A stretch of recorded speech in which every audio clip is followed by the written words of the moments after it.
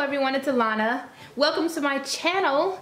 To all of my new subscribers, thanks so much for subscribing. And to all of my subscribers who have been here for a while, thanks so much for sticking around and interacting with me and all of that. So this is the black Tea Rose Rogue 25 and um, I'm just going to be going into the bag, I mean getting a close-up of the Tea Rose detail and going into the bag and um, giving you measurements. I've done this, I've given measurements on the 25 and the 31 in previous videos but I mean if I can remember to I'll do it every time I grab a bag I'll try to remember to do to give you the measurements if I can. So again, this is the Tea Rose Rogue 25, 10 inches across, 8 inches approximately 8 inches height, and 5.5 inch depth. All of the 25s, of course, are the same size. All of the Rogues are the same size as other Rogues in their in that particular size. So this is the front. As you can see, gorgeous, gorgeous.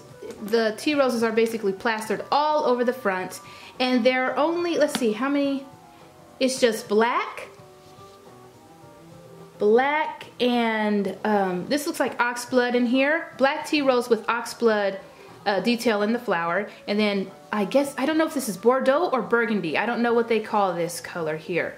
But it's, is it lighter? It looks, this looks lighter. These flowers here look lighter than the, than the oxblood color in here. But um, I don't know what the, the technical name is for um, these colors. I only know oxblood because it's like the darkest shade of red. Or, I mean, it's it's the darkest shade in that, that family. The, you know, Bordeaux Burgundy. Oxblood is like the darkest shade and it has a lot of brown in it. So I know how to, I know what Coach is calling that. I know what it looks like. But the other, the other flowers, I'm not sure. So let me zoom in here.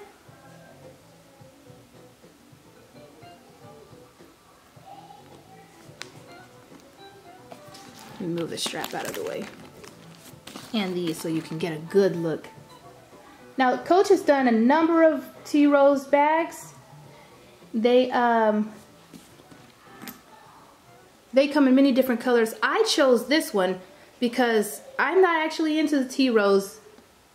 I'm not really into the tea rose detail. I love this one. Because I mean it's just it's a whole lot, and I'm really I, I try to I like to keep it simple with the um, with everything in life actually. I'm very low maintenance um, except when it comes to my bags. But I do kind of like to keep it simple. And this all black with just the Bordeaux or Burgundy in Oxblood is so pretty and so that's why I love it and um, but they do have a lot of different combinations of colors in um, other Tea Rose bags here's the back oh and this is um, Tea Rose slash uh, what is this called uh, what is this called? Tooling, tooling detail. Absolutely stunning. The way that they they kept the uh, they kept the color simple is the reason why I love this bag. Otherwise, I don't generally do tea rose items because it's just so much. If this was the front of a tea rose bag, I would buy it. However, I mean, just in general. However, the uh, this here is just a lot. It's a lot. And so if it weren't just two colors, primarily two colors, I wouldn't have purchased it. But it's just, it's so pretty. And of course, the gold toned um, hardware and feet and all of that just, ah, oh, it just pops so well on this, against this black.